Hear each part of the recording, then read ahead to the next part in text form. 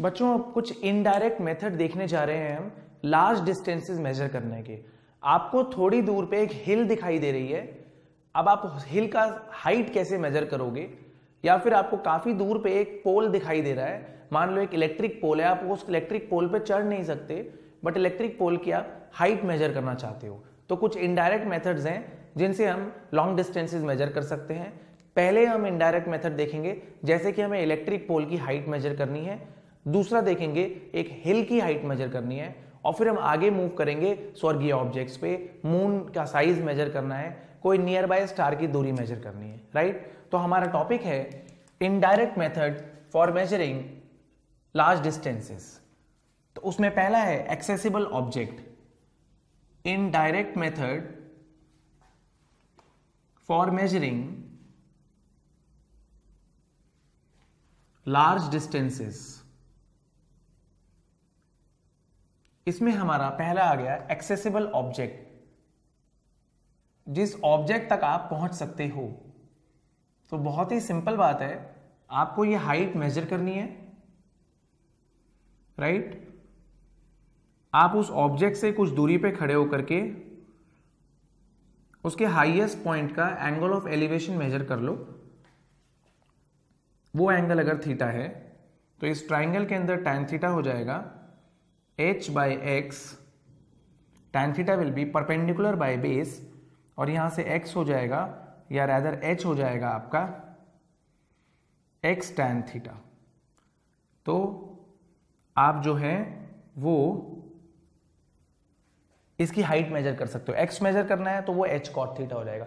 आपको ऑब्जेक्ट की दूरी मेजर करनी है, चाहे उसकी हाइट मेजर करनी है, वो आप दोनों ही मेजर कर सकते हो। आपके पास बस थीटा होना चाहिए और एक्स और एच में से कोई एक चीज़ होनी चाहिए। दूसरी चीज़ अपने आप आ जाएगी। इसमें दूसरा देखते हैं इनएक्सेसिबल ऑब्जेक्ट जैसे कि पहाड़ है, पहाड़ की हाइट मेजर करनी है राइट इनएक्सेसिबल ऑब्जेक्ट तो इनएक्सेसिबल ऑब्जेक्ट का सीन बहुत सिंपल है। ये ऑब्जेक्ट है ऑब्जेक्ट की हाइट फिक्स है। कुछ दूरी पे आप खड़े थे उसके हाईएस्ट पॉइंट का angle of elevation theta two बना।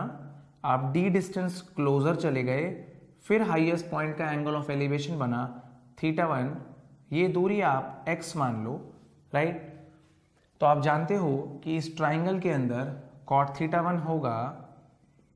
Base upon perpendicular x upon H और इस ट्राइंगल के अंदर कॉट थीटा टू होगा। D plus x D plus x upon H right अब आप दोनों को सब्ट्रैक्ट कर सकते हो। Cot theta two minus cot theta one आएगा हमारा। H कॉमन ले लेते हैं। D plus x minus x तो आ गया हमारा solution d by H cot theta two minus cot theta one is d by H बस आपको इस पोजीशन पे एंगल मेजर करना है। एंगल आपने मेजर किया। कुछ डिस्टेंस आप कितना पास गए उसके हिल के, ये हिल मान लो आप। आप उसके कितना पास गए, वो डिस्टेंस आपको पता होगा। उसके बाद में क्या एंगल बन रहा होगा, वो भी आप निकाल लेंगे। आप इस फॉर्मूले में डालेंगे। थीटा टू आपको पता है। थीटा वन आपको पता है। डी डिस्टेंस आप कितना क्लोजर गए और हाइट जो है वो एच है राइट तो डी पता है आपको थीटा टू और थीटा वन पता है तो आप एच हाइट निकाल सकते हैं बहुत ही ईजिली राइट बच्चों? नोट करिए आप इसे.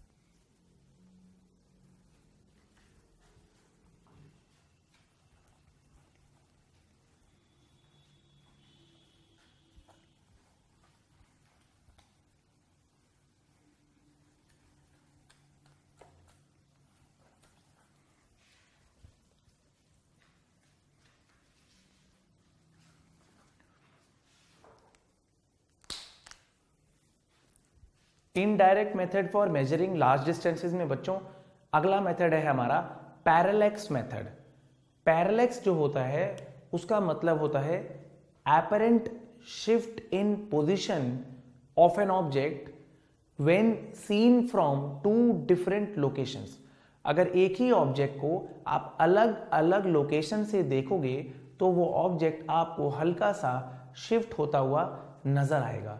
आप, मैं बोर्ड पे यहाँ पर एक डॉट बनाता हूँ और एक बार एक बार लेफ़्ट आई से देखता हूँ राइट आई को क्लोज करके और एक बार राइट आई से देखता हूँ लेफ़्ट को क्लोज करके, ये डॉट शिफ्ट होता हुआ नज़र आएगा। इस एपरेंट शिफ्टिंग को हम पैरलेक्स कहते हैं राइट तो पैरलेक्स क्या है बच्चों हमारा? पैरलेक्स है हमारा apparent shift in position parallax है apparent shift in position of an object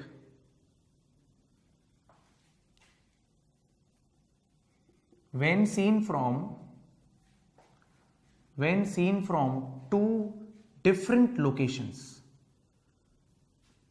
when seen from two different locations अगर आप दो different locations से एक ऑब्जेक्ट को देखोगे तो उसकी पोजीशन शिफ्ट होती हुई नज़र आएगी उस एपरेंट शिफ्टिंग को आप पैरलेक्स कहते हैं। एक ऑब्जेक्ट है।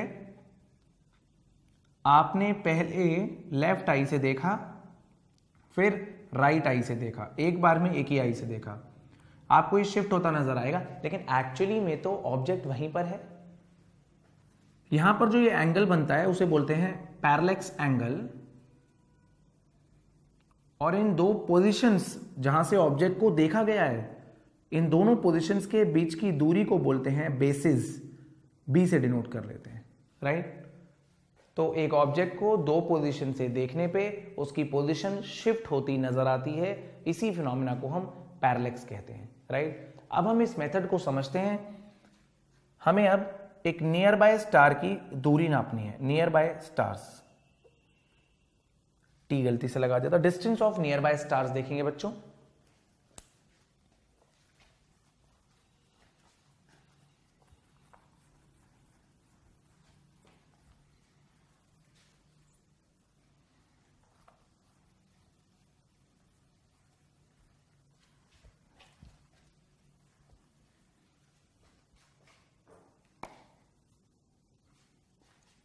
पैरलेक्स मेथड के अंदर बच्चों, हमारा पार्ट है distance of nearby stars. Important topic है।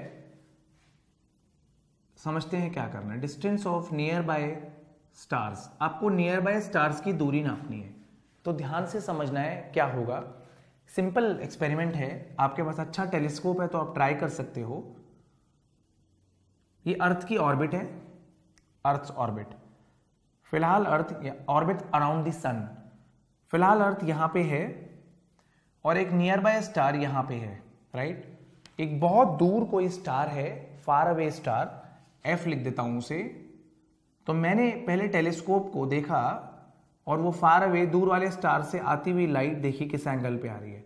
इस तरह से उस पर सेट किया टेलीस्कोप उसके बाद इस पास वाले स्टार पे सेट किया टेलीस्कोप और देखा कि चलो भैया एंगल बन रहा है theta one let it be theta one छह महीने के बाद मैं फिर से घर की छत पे गया। मुझे पता है छह महीने बाद अर्थ ऑलमोस्ट अपनी डायमेट्रिकली ऑपोजिट पोजीशन पे आ जाएगी। अर्थ बिल्कुल ऑपोजिट पोजीशन पे आ जाएगी। फिर से मैंने वही दूर वाले स्टार से आती हुई लाइट ये फार अवे स्टार है एफ़ एन है नियर बाय स्टार उसी स्टार से आती हुई लाइट देखी कि वो इधर आ रही थी। और नियर बाय स्टार जो है, उससे आती हुई लाइट के लिए